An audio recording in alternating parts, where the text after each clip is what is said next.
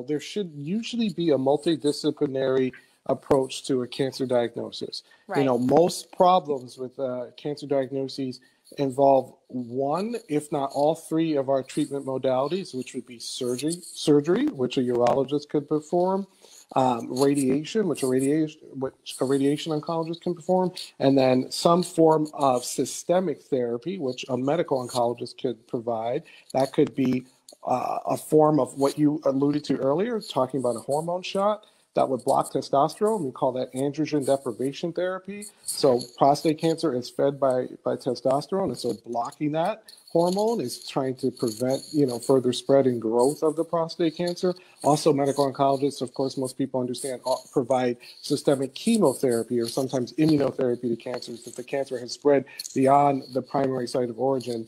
And uh, unfortunately, many prostate cancer diagnoses are made with the di- with the individual being diagnosed at stage four, where the disease has already spread to possibly the bone, the liver, or the lungs. So uh, I think a lot of this talk is to try to prevent those sort Yes. of complications from happening. And so you I uh, you talked about your PSA score, you know, being very high, didn't come down with antibiotics. Um, you know, going for biopsy seems like a very practical thing to do. uh, Again, with a PSA greater than 20. Um, and then, so when that biopsy occurred, you, I just, again, just going to fill in, try to fill in some of those details. You mentioned about the 12 cores that were obtained. Okay. So if you Mhm. think of, uh, think of it, like I said, as an acorn or maybe like a, a bean or seed laying on its side, you know, they're going to probably, you know, if you slice that in half and then you take the left half is having six cores and the right half having the other six cores.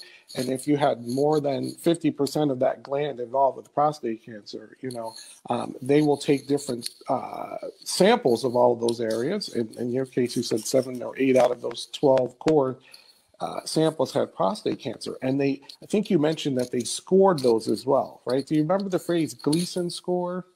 Yeah, yeah, Okay, yeah, Yeah. Yep. Some of them were like a, a three, four, Mm-hmm. uh, three, three, mm-hmm. uh, four, three. It was it was Mhm. like th- those numbers. Okay. Yeah. And anything that was a four four or four five or anything like I, that? I, I, but I did have one area that was a four, four. I do Okay. remember having one area that was a four, four. Yeah. So so what does that mean? Is that you know when when a cancer diagnosis is made, they take that cancerous tissue sample and they uh, look at the the the they look at that pathology sample and they grade it next to a normal prostate gland.